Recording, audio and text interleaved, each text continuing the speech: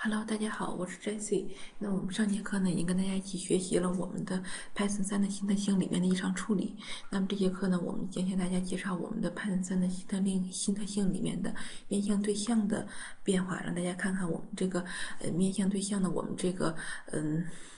大方面呢，然后它有多少改进。好，现在呢，就让我们来正式进入我们这节课的学习。我们今天呢，还是说向大家介绍我们的面向对象方面的知识。那么呢，首先呢，我们都知道我们这个面向对象呢，我们有三大特征，对吧？大家可以回想一下，到底是哪三大特征？没错，它主要呢就是我们的封装、继承和多态。那么呢，我们 Perl 呢，虽然说它作为一我们的 Python 呢，虽然说它作为一种脚本语言，但是实际上呢，它的它的这个面向对象呢，它的这个功能也非常强大。那么我们 Python 三呢，在 Python 二的基础上呢，又做了一些改进，使我们的这个面向对象的功能呢，让大家用起来呢可以更方便、更强大。那么呢，它呢对这个面向对象的嗯改进呢，主要是集中在两方面。现在给大家介绍一下。那么第一部分呢，我们先给大家介介绍我们的 Super，也就是说我们的父类，它在父类上，然后它有哪些改进呢？大家可以先看一个例子。大家可以先读一下我们的这个基本的代码，大家可以看一下。那么我们这个 class C 有我们 C 类呢，它是一个基类，对吧？那我们这个 class D 呢，它呢就是继承了我们这个嗯基类 C 的这么一个子类。那么呢，我们这个子类的话呢，然后呢，它呢这个嗯它里面的这个方法呢，也就是它的这个嗯。初始化这个 init 这个方法呢，然后它呢其实是主要是调用了我们嗯父类的它的这样的方方法。那它在这里的调用的方式呢，实际上是一个无参数的调用，也就是说呢，我们这个呃 super 它后面呢嗯也没有跟跟参数，然后呢它呢就是直接呢嗯用我们这个子类的这个参参数，相当于呢是传递给了父类，然后最后呢我们就是运行一下，看看它的结果是怎么样。OK，那么呢，为了呢，嗯，还是为了节省时间呢，我们已经把我们的代码呢已经给大家，嗯，写好了。我们现在呢就看一下我们这个代码。OK，大家可以看一下这个代码呢，跟刚才我们看到代码是一样的，也就是 C 是父类，D 是子类。那么呢，D 继承了 C，然后呢，它呢用我们的无参数调用呢，用这个 super，它呢就直接呢调用了我们的呃父类当中的这个 init 的就这种。方法来初始化我们的这个滴类。那么这样呢，我们呢会给大家运行一下，让大家看一下我们的这个运行出来的结果呢是什么样子。因为我们最后是调用了我们的这个 d，然后输入它的参数八，对吧？OK，让大家看一下。OK，大大家可以看，那么呢，我们这个实际上呢，它呢输出的结果呢，它是这个 C 八，大家可以在这个地方看到了。也就是说呢，它呢是调用了我们父类 C 里面的这个嗯 init 当当中这个 print 这句话，然后呢，它呢输出了我们的 C，然后还输出我们这个 a 的值。我们这 a 的值实实际上呢，是我们通过无参数调用，然后来给它嗯传递到我们的父类去的。也就是说，这个 a 的值是八。所以说这样呢，就达到了我们这个嗯子父类的这么一种参数传递的作用。也就是说，我们这个参数传递的作用的时候呢，是用了我们的。修修破修破这个函数来帮我们做的。那么这个呢，就是我们今天给大家讲的我们的面向对象的然后变化的第一种。之后呢，我们的我们说我们 Python 三的对面这面向对象呢，它有一个非常非常重大的变化，就是说它引入了我们一种基类，它呢不是普通的基类，它呢叫抽象基类。大家可以看一下抽象基类呢，它的缩写呢，它实际上是 A B C，然后呢，这也非常的有趣，非常的好好记。那么呢，这个 A B C 呢，实际上是一些无法被实例化的类，也就是说，它这这个基类它是不可以实例化的。那么我们要使用这个 A B C 呢，子类必须要继承自 A B。自此，A、B、C 这个类，也就是说呢，我们呢，如果要是想使用这个，嗯，A、B、C 这个类呢，我们这个子类呢，必须要继承它，并且呢，还要覆盖它的抽象的方法才可以。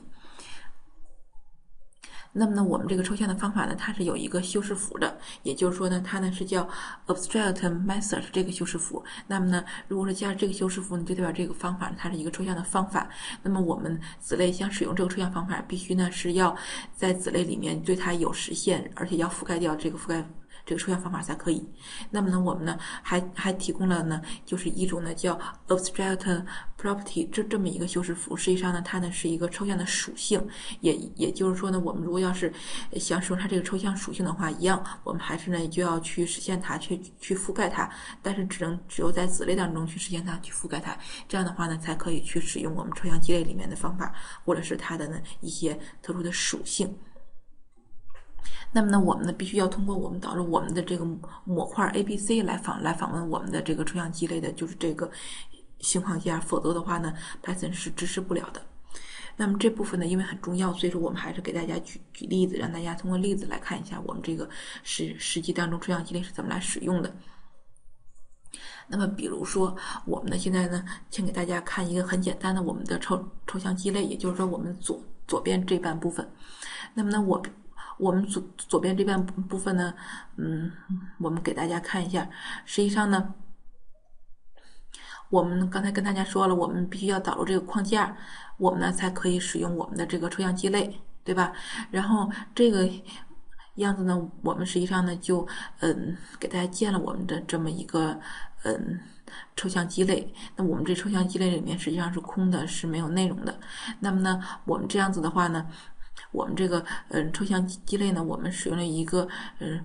register 这个函函数，然后我们使用这个函数，也就我们使用这个方法呢，实际上呢就是调是调用接受了这么一个类作为其参数，也就是说我们用这个 list 这个类来作为它的参数，然后呢就是让这个嗯我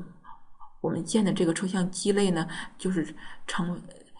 成为呢就是这个类的父类，也也就是说我们这个 list 类呢，实际上呢是我们这个类的。子类是我们这个抽象基类的子类，那么这样的话呢，我们可以通过我们这个 assert 我们这个语语这个语句呢来验证一下。也就是说呢，如果它要是嗯一个嗯抽象基类的话，那么这样子的话呢，我们这部分呢，然后它就不会报出来错误。如果要不是抽象基类的话呢，我们这部分它就会报出来错误，对吧？我们呢还是已经给大家把代码写好了，让大家看一下。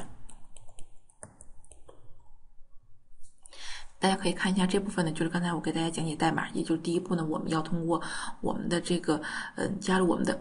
A B C 这个框架，然后呢来使用我们的抽象基类。之后呢，我们呢会给大家已经建立了我们的一个嗯抽象的基类。然后呢，我们这个抽象基类，我们给大家起了一个很嗯醒目的名字，叫叫 Simple Abstract Class 这么一个名字。然后之后呢，我我们呢用这个 re register，然后之后呢，我们呢和我们这个抽象基类呢和我们这个 list 这一类呢建立我们的呃父子关系，然后之后呢，我们用 assert 这个语句呢来验证一下，看看我们这个类呢它是它是不是一个嗯抽象的基类。那么这样的话呢，我们呢会给大家运运行一下，让大家看一下我们这个程序的结果。OK，大家可以看一下，我们呢是在 Python 三当中去运行我们的这个，嗯，我们刚才的代码，可以看到它是没有暴露错误的。所以说呢，我们呢就是用我们讹责的语句呢，其实实际上也是最后呢去进行验证了，也就是我们这个抽象基类呢是建立成功了。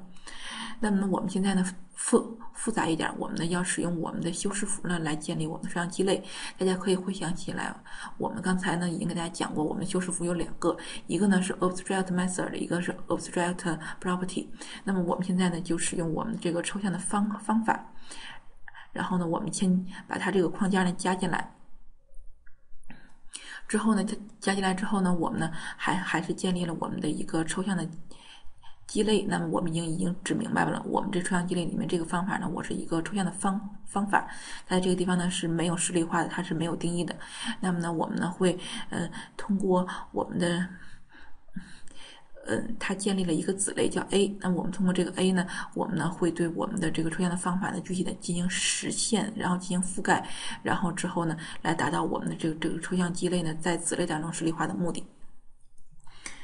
那么这样的话呢，我们呢还是给大家嗯看一下我们的代码。大家可以看，我们完成代码呢是这样子。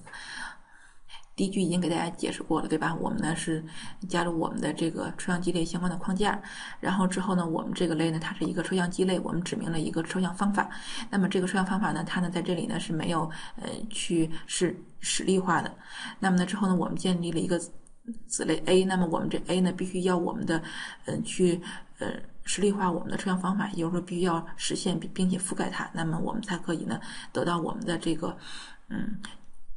抽象基类的它的这个方法的具体的实现，实际上它呢只是 return 了一个零，并且呢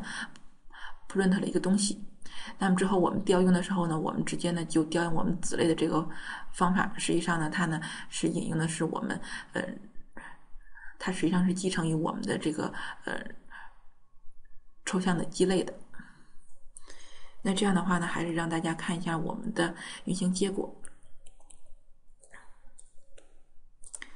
大家可以看我们这个运行结果呢，实际上我们就是 print 了我们的 print 里面的这句话，所以说我们这个程序呢就运行成功了。也就是说，我们的抽象基类呢在这里呢，实际上呢从我们的子类去实例化去嗯起作用的。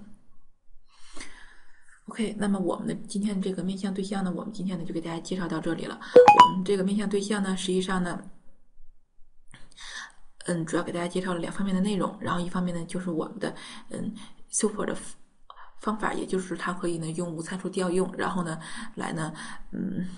确立我们的呃父类和子类的关系，然后呢可以呢在子类当中直接用这个函数呢去引用我们父类当中的方法。那么第二个呢，我们也给大家讲过了我们的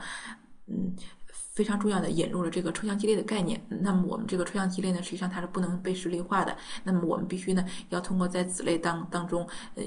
用修饰符也好，不用修饰符也好，必须呢要把它进行实例化，那我们这抽象基类才会起起作用。这样的话呢，我们呢就实现了我们对我们的面向对象功能的扩展，也就是我们 Python 三的一个重点改进的地方。那么我们这节课的作业呢，实际上呢就是请大家，嗯，在课下，然后呢就是可以自己建立。建立一个属于自己的抽象基类，然后这样的话呢，我们呢，呃，去用我们的再建立一个子类去实例化它。那么我们这样的话呢，去呃是嗯体会一下我们这个抽象基类和子类它的关系是怎么样，然后它调用的方式是怎么样的。那我们下节课呢会给大家讲我们的 Python 三当中最后一讲，也就是说我们的这个模块变动和其他的一些小变化。那么呢，嗯，下节课完了呢，那我们这个 Python 三呢就结课了，希望呢可以呢对大家呢有所帮助。好，那我们这节课呢就上到这儿，谢谢大家。